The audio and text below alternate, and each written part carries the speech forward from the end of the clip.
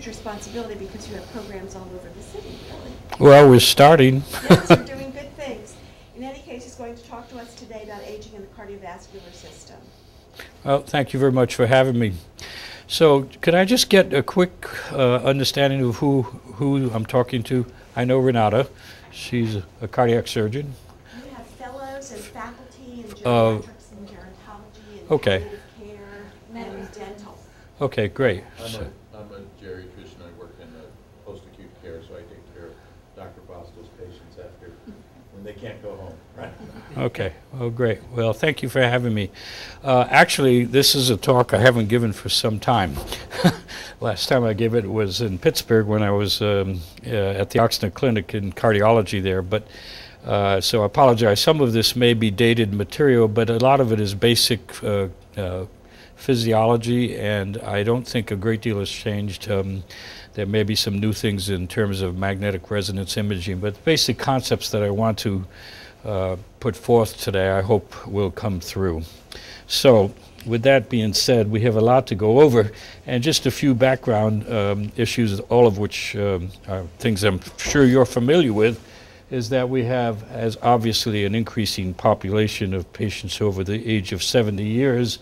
Uh, this is uh, back in 1990, and I'm sure that if we upgrade this uh, to today, it won't look much different. And that is that people who are 50 and younger, uh, 30 years separated, that, that, that uh, prevalence of patients in this age group and population in this age group won't be much different. But as you see, as we get in 50 and older and 65 and older, the population, the, the elderly population or the senior population is growing significantly.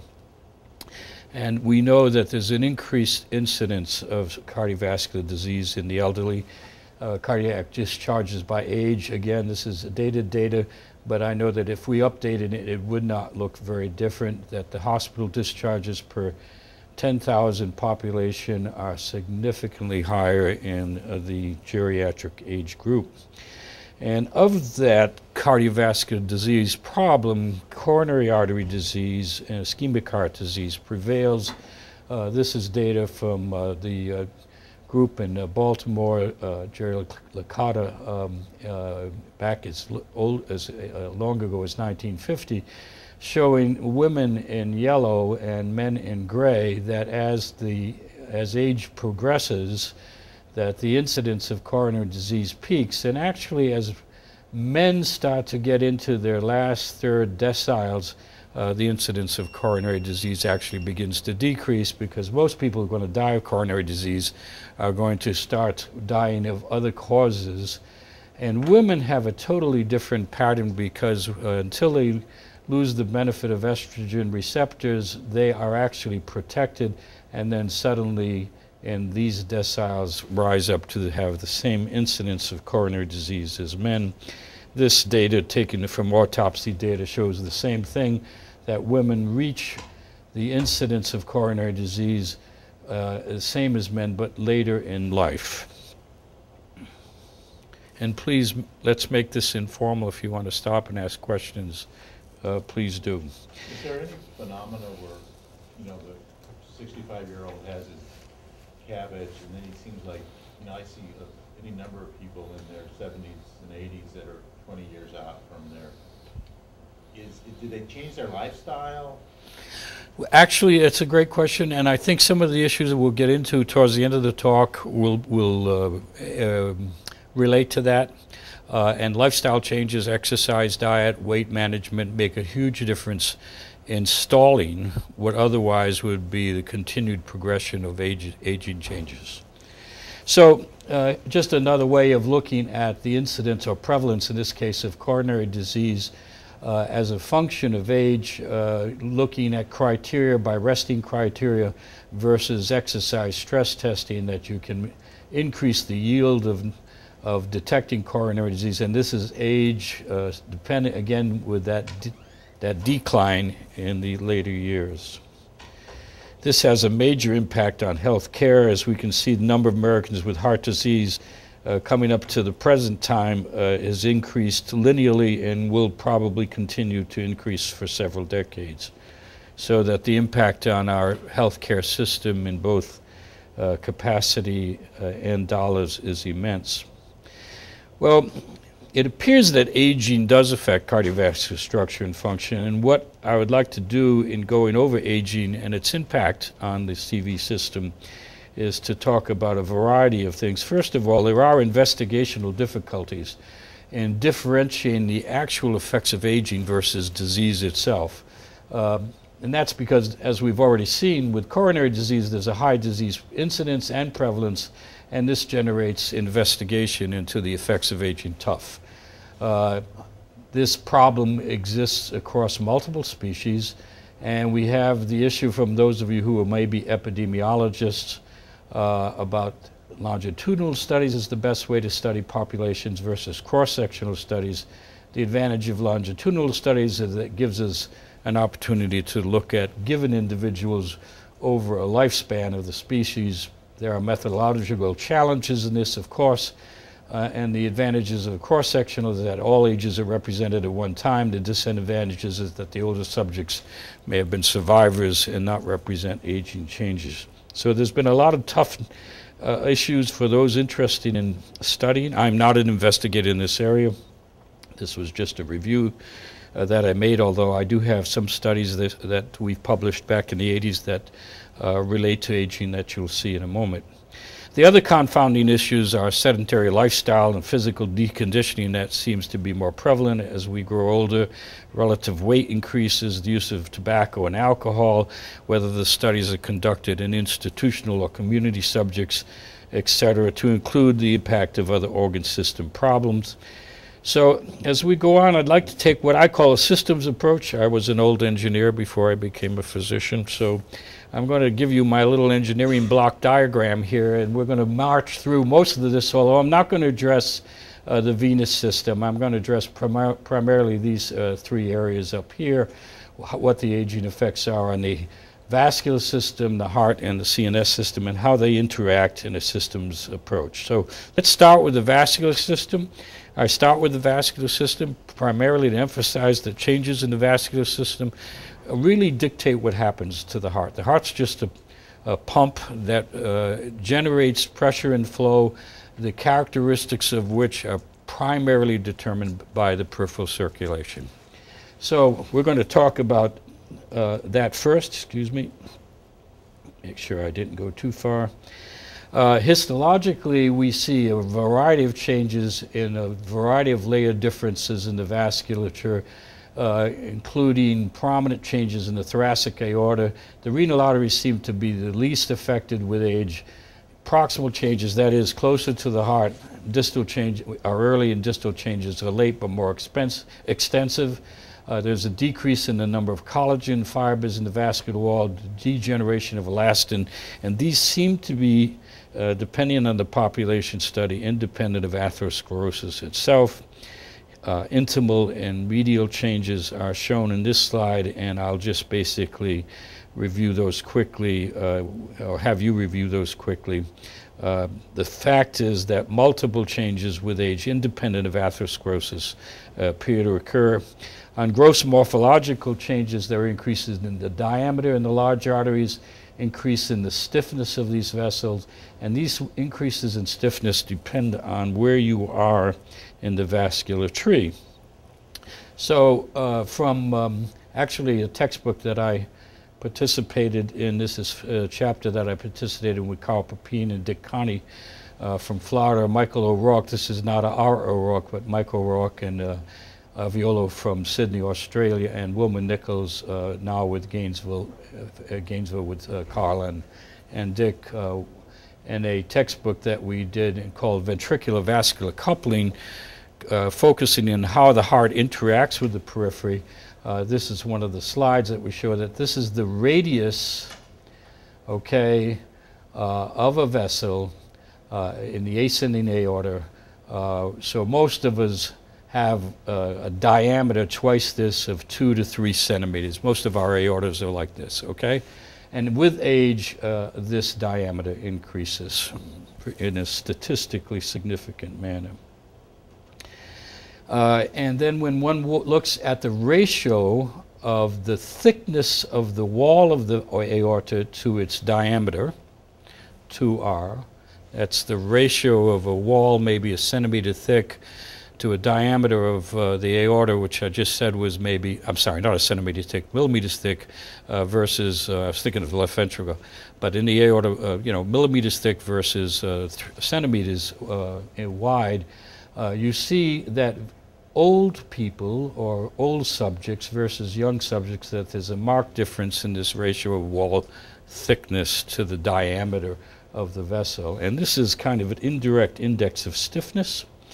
Uh, the, the, modulus of elasticity is a word that mechanical and material science engineers use for stiffness. And if you look at that modulus of elasticity from pressure strain work in uh, the laboratory as a function of age, uh, that stiffness of the aorta goes up in a linear fashion. So this causes increased wall tension and overall stiffness so that the pressure or tension length, either pressure volume or tension length relationships of the ascending and thoracic aorta, which, uh, as you can see, the ascending aorta is, uh, has a different uh, pressure or tension length relationship than the thoracic aorta, but particularly with age, these relationships change significantly. So to the left is stiffer, okay? That means a small change in length leads to a large rise in tension in the wall, okay? So that you tolerate changes in length much better at a younger age or in the thoracic aorta than you do in the ascending aorta. this leads to what? Uh, something that all of you in geriatrics ought to be very familiar with, and that's pulse wave velocity. How fast a pressure wave travels down the vessel, down the aorta, from the aortic valve to the periphery. That's not how fast blood is propagated or a red cell is propagated. That's how fast a pressure wave is propagated. It's kind of like throwing a stone in a circular swimming pool. You throw it in the middle, it generates waves which propagate out to the walls. That doesn't mean the molecules of water are moving to the walls, it's a disturbance. Just like my voice goes from my mouth to your ear, I am propagating disturbances in the air. So too do you propagate a pressure wave from the aorta all the way to the periphery that travels at a very defined speed. In most adults, it's usually about six to eight meters per second or 600 to 800 centimeters per second. That increases both with location in a normal individual and increases with age as shown from primarily the work of Michael O'Rourke. Pulse wave velocity, I already mentioned, five to 600 centimeters a second in the young and as we get older, that pulse wave velocity increases. So if you were able to put your fingers on the carotid and put your fingers on the femoral, and your brain was good enough to detect the time difference between the pulse, uh, which it probably isn't, you would see a difference between young and old. But certainly measurement techniques show that very easily. And stiffness, as I mentioned, is also not only a function of age, but a function of where you are in the aorta. So here in the ascending aorta, stiffness is measured in dynes per centimeter squared versus the iliacs goes up as we get into the tapered tapering of the vessel from the ascending aorta through the diaphragm to the renal arteries to the iliacs. And pulse wave velocity parallels stiffness uh, in a very nice way so that pulse wave velocity pretty easy to measure in a clinical investigational environment is a has been used by many people, particularly in the hypertension literature, even today, uh, in fact, extensively today, as an index of aortic stiffness. And looking at interventions, pharmacologic, particularly in, uh, pharmacologic interventions in the hypertension field, this is used all the time. So we've been through these ch functional changes. This we also know that there's an increase in peripheral vascular resistance from about 1,000 dyne centimeters per minus fifth all the way up into the 1500 with age. So the results are changes in arterial dynamics. Okay, these stiffness changes, these histological changes, these morphologic changes, these gross changes, and the functional changes in the aorta lead to increases in systolic and pulse pressure. And as you can see, this actually is from an article of mine, some back in the 80s, uh, extracted uh, to this uh, particular chapter that we wrote. In the ascending aorta, these are done with micromanometer pressure transducers. These are high fidelity pressure tracings. They're not fluid tracers, so they're really true. Okay, they're absent any artifact. This is in the ascending aorta. You see a little late systolic rise in a typical adult. We'll talk about that a little more. And as you move through the arch into the descending thoracic, at the uh, level of the diaphragm, down below the renal arteries and into the iliacs, you see a significant change in the pulse pressure, in both in personality and in amplitude in all people. But those changes are, as shown in this slide, um, looking at the increase in systolic and the change in diastolic pressure, the increase in pulse pressure as a function of age. So we're being hammered if you will, internally by our own pulse pressure in a much more significant way as we age than when we were younger as the vessels become stiffer. This leads to an increased amplitude of and earlier arrival of what we call wave reflections. So I talked about wave propagation going down from the aorta to the iliacs they bounce back. There are reflections just like in that swimming pool that I mentioned, and those reflections come back to the valve and to the heart quickly enough at six to seven to 800 centimeters per second going forward and the same going backwards. They arrive back while systole is still occurring. That's how fast wave propagations can go. So before the heart ha has even completed its contraction, a wave is generated, propagated, moves down to the periphery, and part of it goes forward and part of it comes back. Again, this is not blood, this is a propagation of wave. And it arrives in such a way that it changes the personality of the wave in the ascending aorta in a young subject versus an older subject, or you can even manipulate this with nitroglycerin and make this elderly subject look like a young subject by changing the characteristics of the aorta with nitroglycerin and distending blood pressure. So a late systolic wave appearing in the middle of systole is a function of stiffening of the aorta and is characteristic of older people versus younger people. This has incredible clinical significance. As we move on into the, into the talk, we'll talk about this more, but this change in the waveforms is a function of those changes in anatomy and physiology. Uh, we actually first described this in San Antonio when I was on active duty at Brooke Army Medical Center. Uh, we observe these differences in a very, very consistent way between young individuals and older individuals. Yes, even at BAMC, we studied older individuals because we have the retired population uh, there, as well as the young troopers. And so I, I was head of the cath lab in those years and had an opportunity to classify uh, this was published in Circulation in 1980. What we call Type A versus Type C beats. This is this paper. I'm proud to say is still referred to in the literature uh, every week, particularly in the hypertension literature, uh, where the differentiation of these kinds of waveforms with non-invasive techniques and radiotonometry has become very popular in treating patients uh, with antihypertensive medications.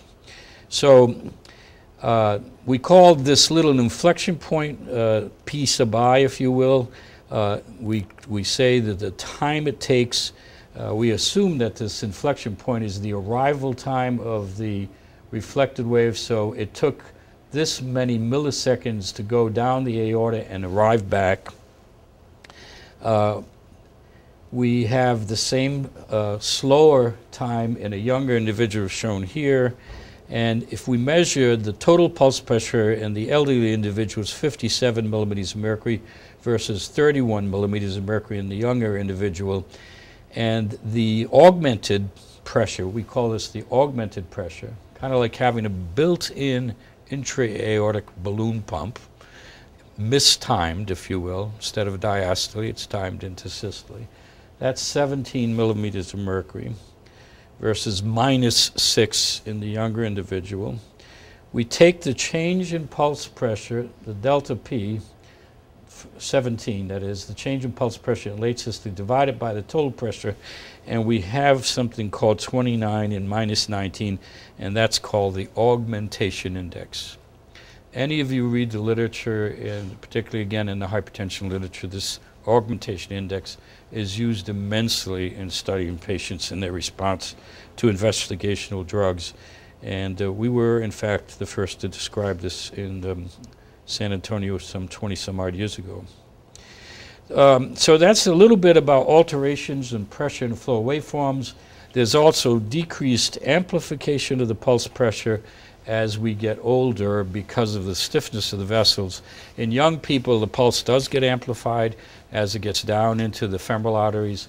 Uh, that amplification decreases as a function of age alteration in aortic input and impedance spectra. I'm not going to bore you with something this uh, erudite, but there is something besides peripheral resistance that one measures when one looks at the resistance to left ventricular ejection we all think about in the coronary care unit and the ICUs peripheral vascular resistance, but there's something more more um, sophisticated called impedance that has to do with the pulsatile nature of the circulatory system plus the elastic nature of the aorta and the storage characteristics, of capacitor, if you will, and the inertia of blood flow. So the heart has to take a stroke volume that's initially at rest, give it inertia, eject it into the aorta, overcome the elastic properties of the aorta, and then the valve closes and the aorta takes over and moves on into the periphery.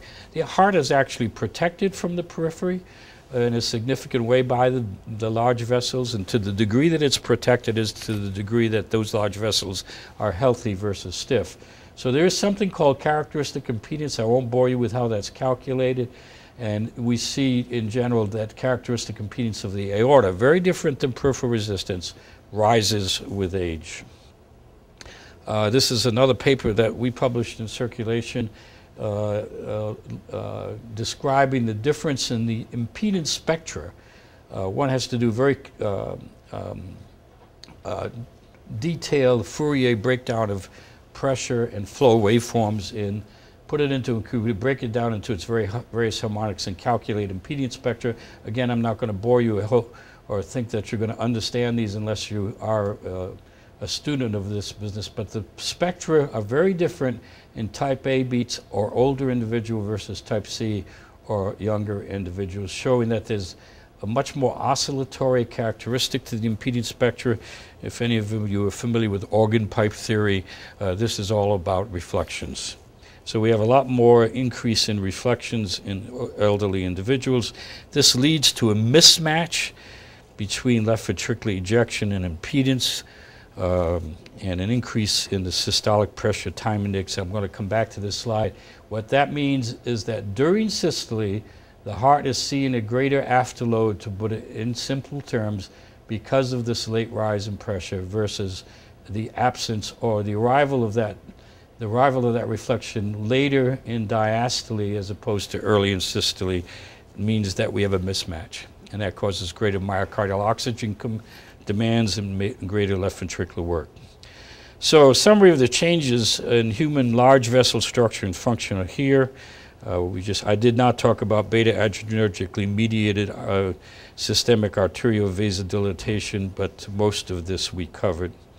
So that's the vascular system. If we go and move away in our systems approach from the vascular system to the heart, similarly, uh, there are histologic changes in the heart. Uh, uh, the only consistent degenerative changes are, are those shown here. Myocardial cell size increases with age.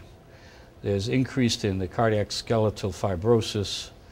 Uh, no evidence of increase in myocardium itself. There's calcification of the aortic and mitral annulus that we see on echocardiography all the time in the clinical situation, varying immensely from patient to patient, But as one gets into the 80s and 90s, you will almost always see calcium on the echo. So here is uh, cell diameter versus age to show some uh, change in myocardial cell versus aging.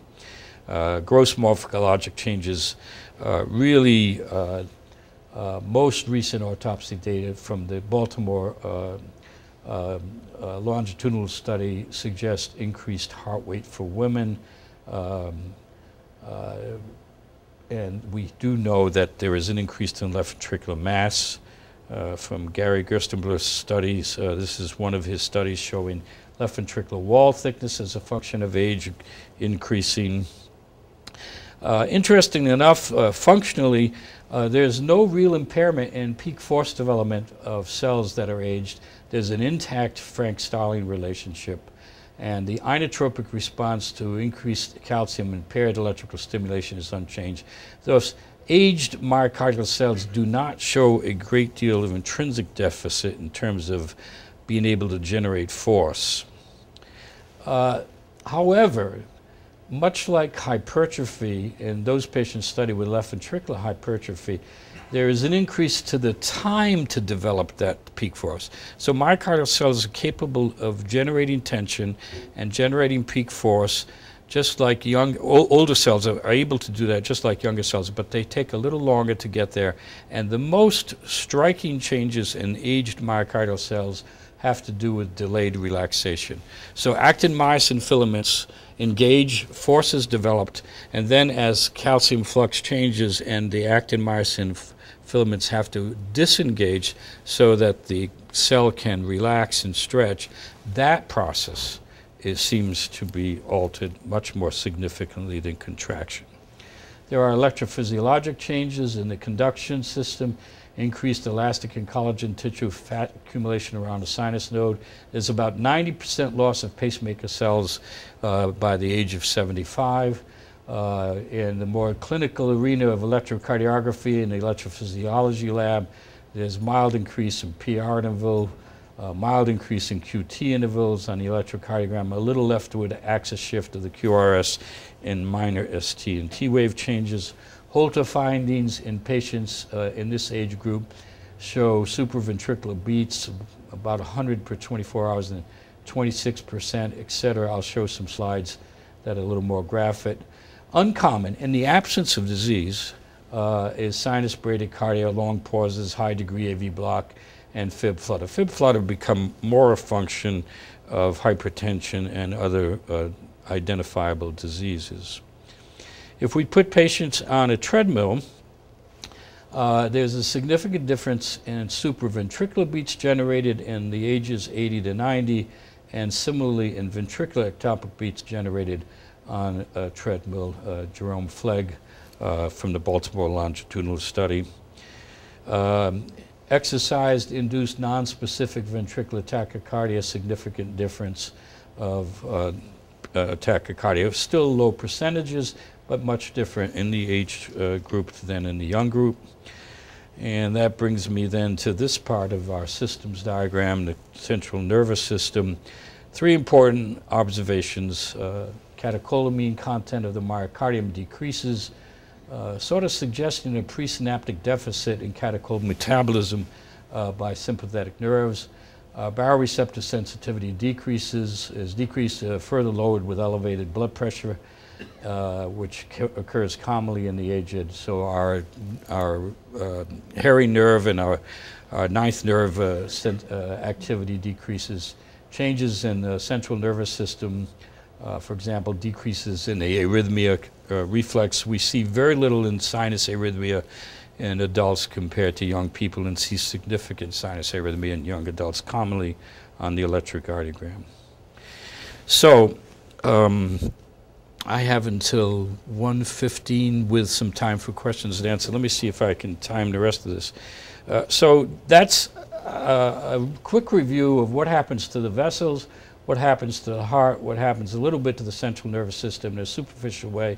A lot happens in the venous system with losses of um, um, uh, tone in the venous, uh, large veins in the legs, losses of valve competency, uh, postural changes. I do, I do not have a review of that, but this is also very important in terms of preload effects on the heart.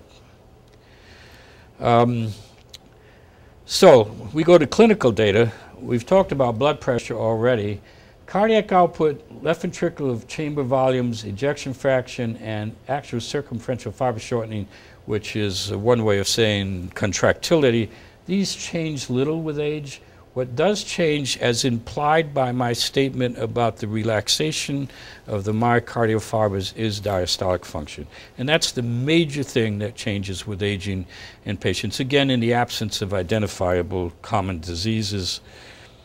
Reduced early diastolic filling rates are shown by multiple non-invasive clinical uh, tests, echocardiography, Doppler, radionuclide angiography.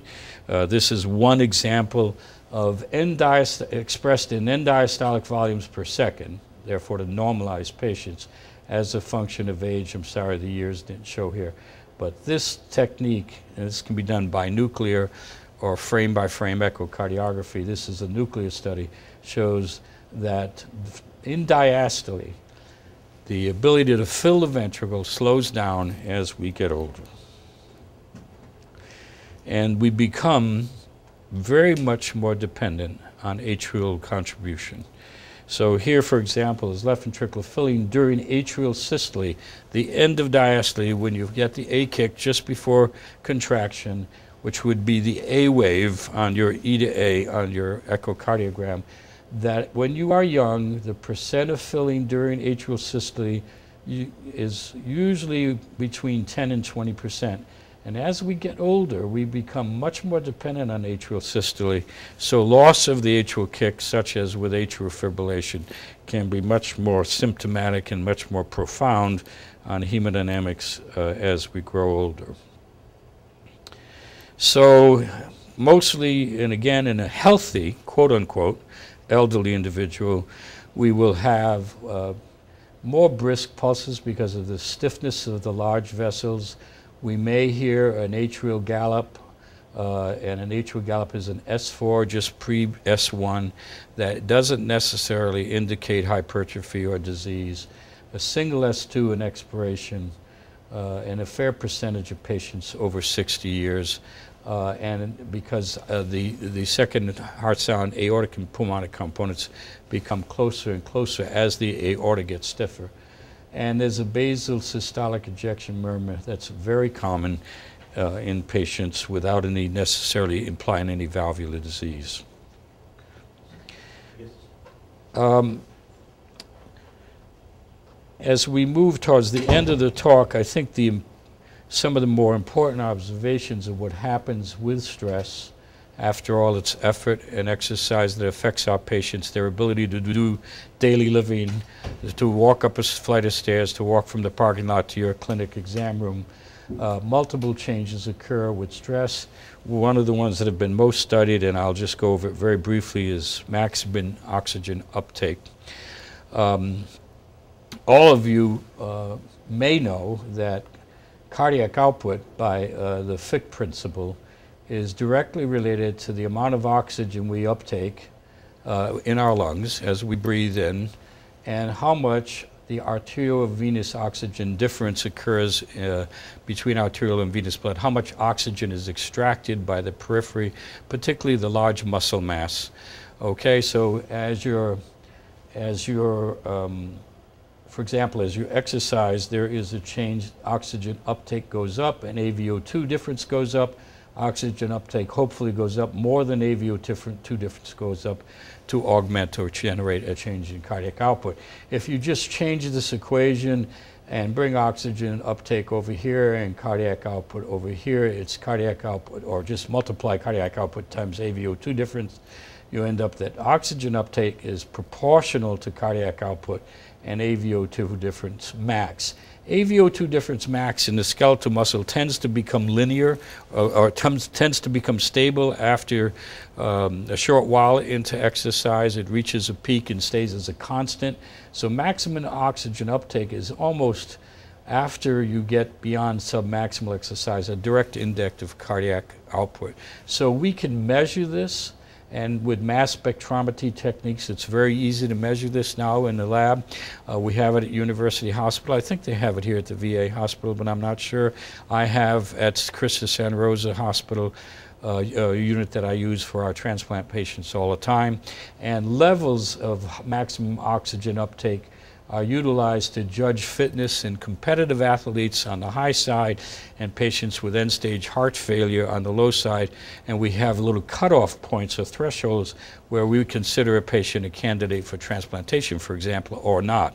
If they can get on a treadmill and reach a maximum oxygen uptake of 12 to 14 milliliters per kilogram per minute, then we usually won't transplant them until they get lower. Now, that's just one number, and you have to take in a whole bunch of other things, but that's sort of the general rule of thumb in the literature. And it is, therefore, an indicator of cardiovascular fitness. And as we look at that, there have been numerous studies revealing a decline of about 1% to year over the 50 years between our young 25 uh, to 75 it parallels a decline in work capacity.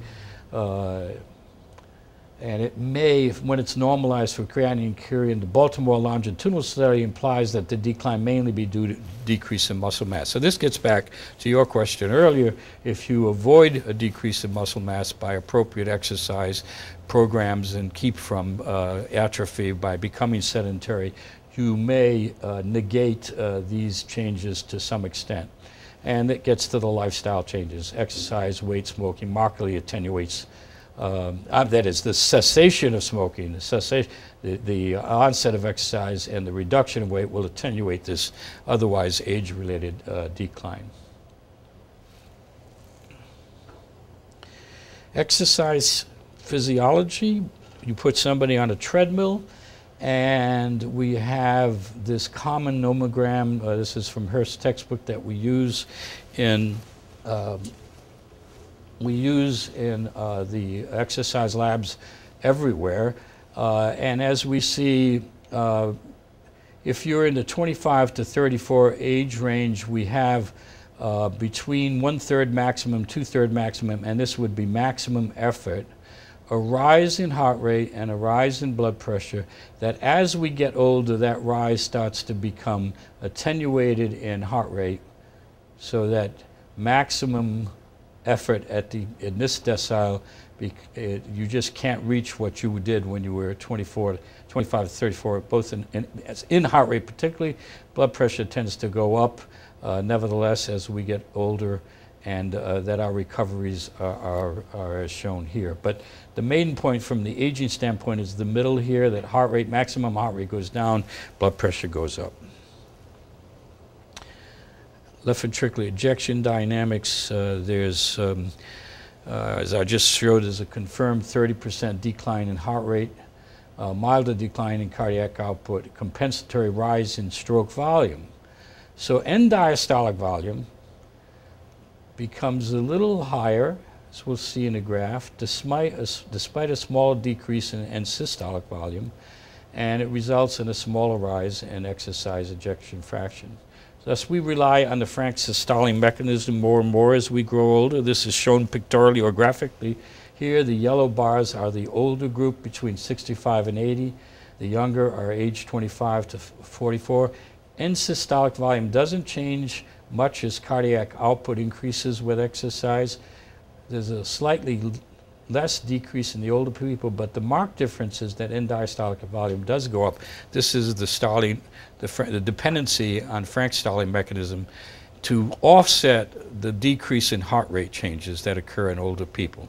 So because we don't increase our heart rate as much, we depend more on a Starling mechanism as we get older. Stroke volume, is shown also going up with age uh, as far yellow versus gray uh, as a function of an increase in cardiac output. And that's just a summary.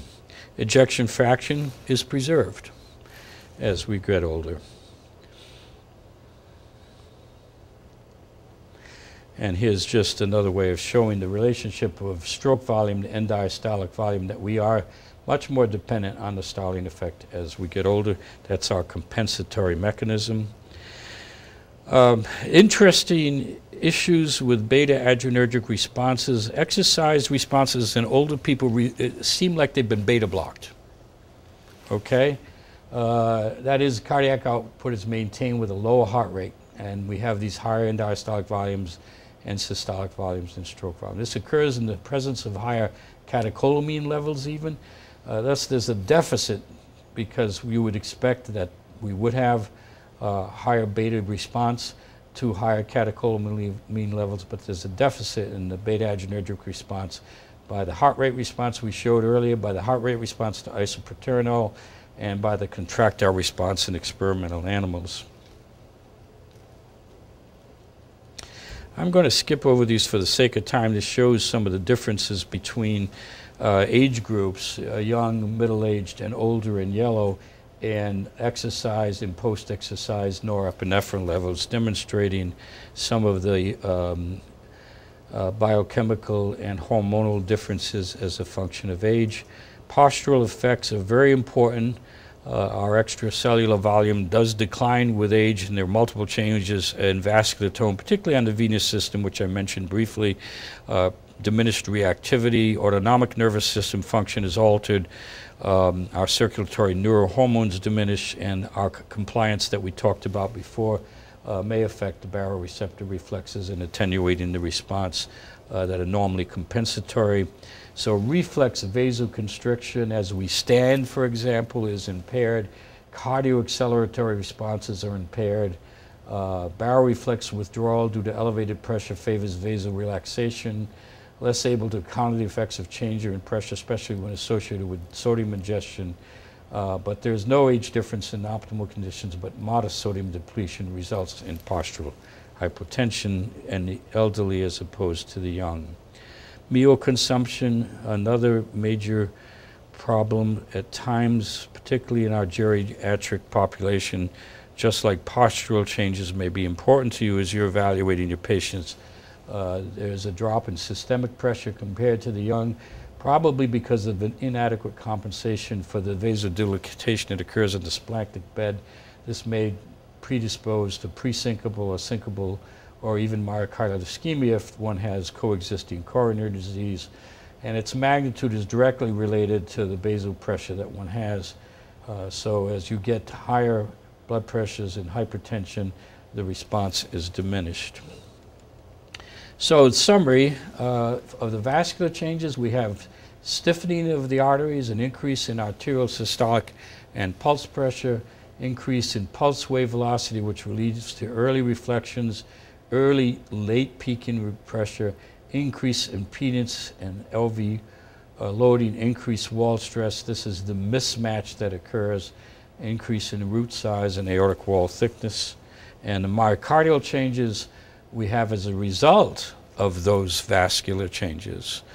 And as a result of intrinsic myocardial changes, increased wall tension, LV hypertrophy, prolonged contraction, increased left atrial size, uh, preserved end diastolic volume, uh, hypertrophy normalizes wall stress, preserves end systolic volume and ejection fraction, uh, et cetera. And as I emphasized a little earlier, one of the more important things is what happens to diastole and relaxation. So it's important for us to understand that there's a substrate upon which all the other diseases that we haven't talked about today are superimposed. So when you're making a judgment about the impact of hypertensive heart disease, or the impact of peripheral vascular disease, or the impact of coronary disease, you need to remember that the substrate upon which that occurs is a function of age itself. Thanks. So, any questions, please? That's an excellent review. Well, thank you. Um, Regarding the vessel, the resistant vessels, you have vasodilation, pretty right. Because from what I understand, you said barrel, baroreflex is kind of increased, decreased because you have vasodilation. But I would think that with metabolic syndrome and everything else, you would have more vasoconstriction, decreased nitric oxide. Uh, I'm not sure exactly how to answer your question. Uh, it, what I understand from my review here is that as our vessel, as our arterial vessels get stiffer, and as our mean aortic pressure rises, that some of the baroreceptors that we primarily depend on, such as in the carotid bulb, uh, old uh, ninth nerve, uh, uh, uh, midbrain uh, feedback control systems, that those become they, they become modulated in a downward fashion or down regulated, if you will, so that we don't change our arterial tone. The signals that are sent to the periphery to change arterial tone are blunted. Number one, just by the changes that occur in some of, not just this receptor, uh, this control uh, system, but other control systems because of the changes in the vascular tree. And then there are local uh, changes in the system itself, particularly on the venous side, um, uh, which combined with arterial changes, I think, uh, uh, can make uh, postural hypotension, syncope, presyncope a problem. Uh, I don't know if I answered your question, and I'm not sure about nitric oxide and endothelial function in this regard, but we know that endothelial function becomes significantly affected with vessel stiffness from atherosclerosis. It's possible that it becomes affected, and it's possible that there have been more recent studies just by changes in stiffness from aging. Yeah, what I was wondering is that if, uh, what we observe in our patients, is that because of disease or it's aging? If I'm uh, prospectively testing a patient for endo- endothelial function, am I expecting to find dysfunction just because the person is old or? Well, I, I don't know. On an individual basis, it may be very difficult to differentiate that. But I'm sure that if you're looking, for example, at plethysmographic changes in the forearm, forearm as a function of different interventions and challenges as a measure of vasoreactivity, that that obviously goes down with smoking maybe even in the absence of atherosclerosis. It and that's an endothelial function issue. It obviously goes down in the presence of vascular disease, and I d- it probably goes down in, as a function of aging, upon which the disease changes may be even more augmented. But I don't know to the extent uh, that you have a threshold of change that differentiates between just aging and disease. As you see, most of these epidemiologic studies with large scattergrams, the, mainly the, the mean is statistically changing, but there's large uh, variations and, and um, as one ages. So, I mean, I, I didn't give you as clinical talk as you may have been interested in. I gave you more of a physiologic presentation, but I think an understanding of the physiology of aging is important when we go into the clinic and and we deal with some of these issues. Echocardiography is striking in older patients and what happens with their, you know, we measure routinely in the echo lab wall thickness. We measure the inflow waveforms from left atrium into left ventricle in early diastole and late diastole, the E wave and the A wave. Those ratios change predictably with age. Okay? Uh, if you have an E to A ratio that's normal in an 80 year old, you suspect that it's been pseudo normalized by, uh, by factors of both abnormal relaxation and abnormal passive filling or stiffness of the heart. So all of those uh, things become striking as you look at them in age. And I have to emphasize to my fellows time and time again, you know, you don't say diastolic dysfunction simply because the EDA ratio is 0.9, which is less than 1 in an 80 year old. That's wonderful in an 80 year old compared to a 20 year old where it would be 1.4 or even 2, 2, 2.0, the EDA ratio. Uh, there are mo other more sophisticated diastology indices in the echo lab, but echo can get pretty significant, uh, uh, sophisticated in looking at diastolic functions. But if you remember that half of the patients that show up in the emergency room with acute congestive heart failure have preserved left ventricular systolic function and are there because their diastolic function is problematic, you realize how important it is to understand changes in diastolic function, which is the most impressive thing that occurs as a function of aging, again, in the absence of these. You add hypertension, which is as common as bread and butter, then you've got, uh, you've got a very confusing, you know, issue there. So But on top of it, it becomes significant. This uh, augmentation systolic waveform that you were Glad somebody, so is, it uh, under autonomic control, influenced by that? Can you convert from one waveform Uh, to w- the w- other? you, you can convert from one phase, uh, waveform to another by a variety of maneuvers, okay? Uh, that affect primarily large vessel compliance. So if I drop your mean distending aortic pressure with a maneuver, um, even from lying down to standing and venous pooling and you get decreased venous return, cardiac and systolic pressure drops, then the mean pressure in the aorta is what distends the aorta. As that aorta is less distended and becomes less tight, more loose, that'll affect wave propagation velocities and therefore affect the timing of the reflected wave. So just simply giving somebody nitroglycerin makes a huge, you can go from a type A to a type CB just like that. A Valsalva maneuver, and we published that two years later in 82, uh, um, and some rather interesting work uh, using this Fourier transform and looking actually at the calculation of impedance. We can simulate a reflection-less system, which is an infinitely long tube without any break branch points. Because the aorta tapers and because it has branch points at the renal arteries and the iliacs, the major reflection site appears to be between the renal arteries and iliacs. Okay, so if you get iliac stenosis, it just that augmentation index goes up like mad. But even in a normal individual, uh, in the lab, and again we published this, if you take your fingers and just uh, do a femoral artery compression on both sides. That was the job of two fellows in an experiment. That goes up instantaneously. You can see on a high fidelity aortic waveform, the late systolic pressure doubles as soon as they put their fingers down. Similar to blowing a balloon up in the descending thoracic aorta in, a in an animal experiment. You can change that late systolic configuration immensely.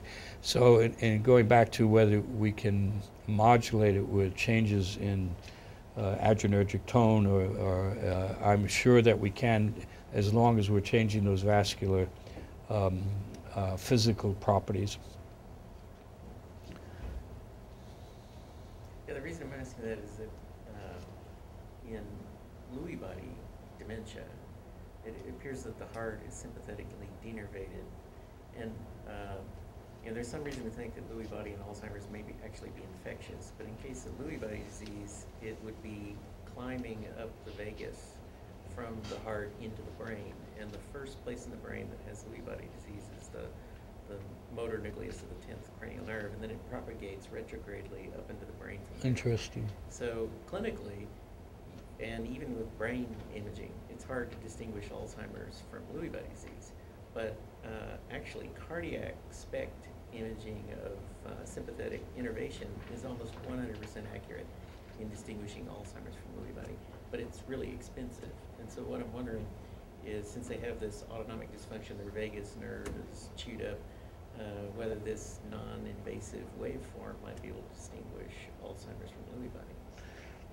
Boy, that's an uh, interesting hypothesis. Um, you know, these non-invasive tonometry uh, things that have a transform uh, function that converts a peripheral radial artery waveform into a central aortic waveform is a hot subject in the area of hypertension. But when you again look at it on a population basis, the scatter is wide. And so you might hypothesize that there are some changes that you could see on a population basis, but on an individual basis, the specificity and sensitivity would probably be significantly down. All right, thanks again for having me over. Thank you so Appreciate it. Nice to meet you finally, Renata. Is there- was the- the sign-in sheet from over here? You missed signing in the sign-in sheet over here. Do I get CME for this?